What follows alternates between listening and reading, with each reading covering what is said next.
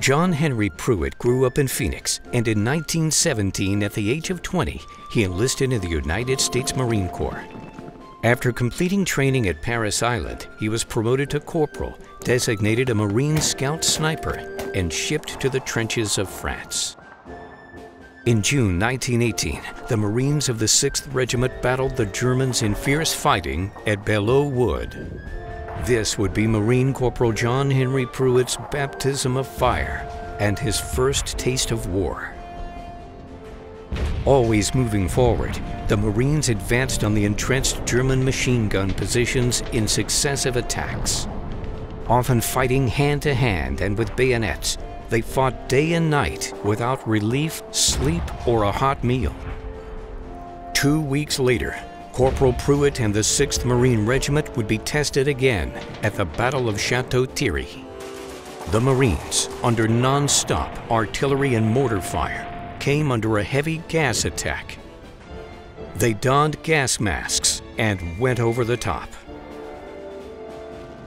The rubber gas masks caused the Marines to sweat profusely, foam at the mouth, and turn the whites of their eyes bloody red. The legend goes that when the Marines topped the trenches, they killed everything in their path. German troops, seeing the blood-red eyes of the Marines coming out of a thick cloud of gas, began to panic. They started yelling that dogs from hell were attacking them. During the battle, Pruitt's gas mask was pulled off in the vicious hand-to-hand -hand fighting. Overcome by gas, he was evacuated to the rear for treatment. The Marines, after a month-long bloody battle, would emerge victorious against the finest German troops the Kaiser could muster. Pruitt recovered and returned to the Devil Dogs in mid-September for what would be his last battle. At the Battle of Blanc-Mont Ridge, Pruitt would single-handedly take out two German machine guns, killing two soldiers and capturing 40. His courageous actions that day saved countless lives. Before the next attack, Pruitt's commanding officer pulled him from the trenches, assigning him to sniper detail. It was to be a fateful decision.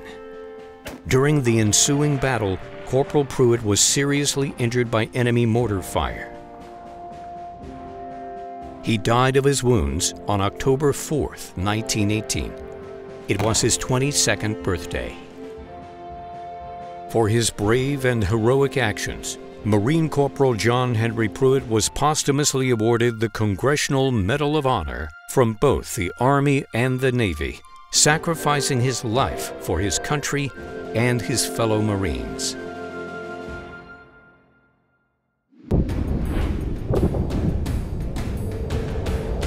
President Roosevelt signed Bill of Rights. I've always appreciated the American Legion. My gratitude to the American Thank Legion. you all of the American Legion. We have millions of veterans that are members of our organization. Thank you.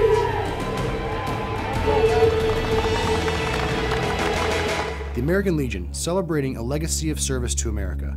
Find out more at legion.org.